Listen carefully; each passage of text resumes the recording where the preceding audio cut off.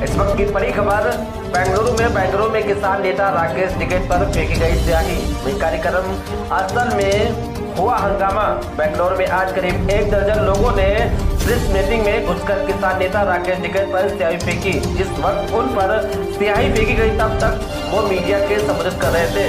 वहीं बेंगलुरु दिल्ली में किसान आंदोलन, किसान प्रोटेस्ट के प्रमुख चेहरा रहे नेता राकेश टिकैत भारतीय किसान यूनियन के लीडर राकेश टिकैत के ऊपर बेंगलुरु पुलिस क्लब के गाजी और काली सियाही फेंकी गई। बताया गया कि बेंगलुरु में आज करीब एक दर्जन लोगों ने प्रेस मीटिंग में घुसकर किसान नेता राकेश टिकैत पर सियाही फेंकी गई। जिस वक्त उन पर सियाही फेंकी गई, तब तक वो मीडिया को संबोधित कर रहे थे। इस दौरान लोगों का यह समूह उनके पास पहुँचा और उन पर सियाही फेंक दी के बाद कार्यक्रम स्थल पर अफरा तफरी मच गया और कुर्सी इधर से उधर भी फेंक निरस्त किया गया कृषि कानून के खिलाफ टिकट ने एक स्टिंग ऑपरेशन के बारे में बोलने के लिए प्रेस मीट बुलाए गए हुए थे जिसमें कर्नाटक के एक किसान नेता को कथित तौर पर पैसे मांगते हुए पकड़ा गया था।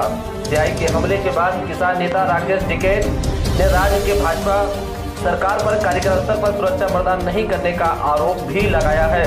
वही समाचार एजेंसी एनआई के अनुसार उन्होंने कहा कि ये स्थानीय पुलिस, लोकल पुलिस द्वारा किसी भी तरह की सुरक्षा प्रदान नहीं की गई थी। ये सरकार की मिली भगत भी है। देखिए खास रिपोर्ट।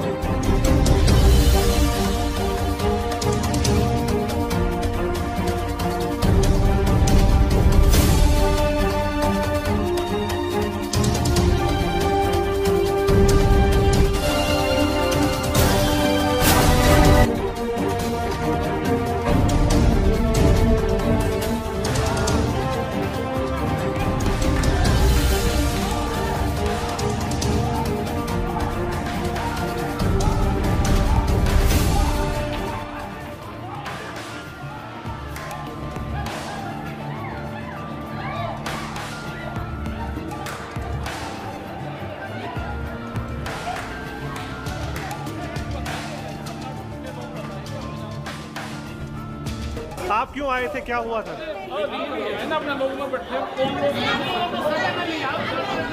अभी ये तो ज़िम्मेदारी यहाँ की लोकल पुलिस की है। ये लोकल पुलिस की ज़िम्मेदारी है कि यहाँ पे कोई सिक्योरिटी कॉम्प्रोमाइज नहीं है। ये लोकल पुलिस की ज़िम्मेदारी है और ये पूर्ण रूप से सरकार की मिली भगत से है